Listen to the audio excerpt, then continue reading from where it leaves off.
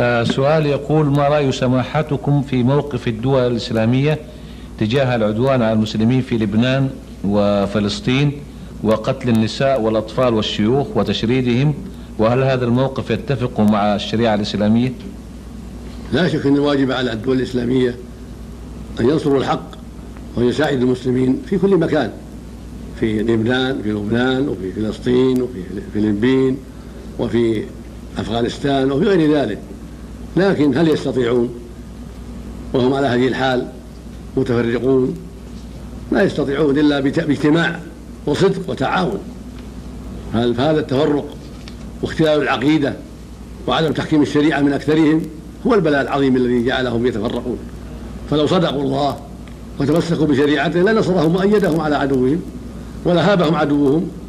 حتى الأمريكان وحتى الروس لو تجمع المسلمون وصدقوا لا أعطوهم حقوقهم ولم يتعدوا عليهم لكن هذا التفرق وهذا البلد الذي وقعوا فيه هو سبب احتقارهم وسبب تسليط الأعداء عليهم وهم آثمون بهذا التفرق وعليهم أن يتقوا الله ويسعوا جاهدين في إزالة هذا التفرق وفي التعاون. ومن سعى في ذلك واجتهد فله أجران إذا أصاب ومن أخطأ فله أجر إذا صلحت نيته. ولكن المصيبة فساد العقائد كثير منهم ليس عنده العقيدة الصحيحة المستقيمة الموافقة لشرع الله. نعم والله المستعان. نعم.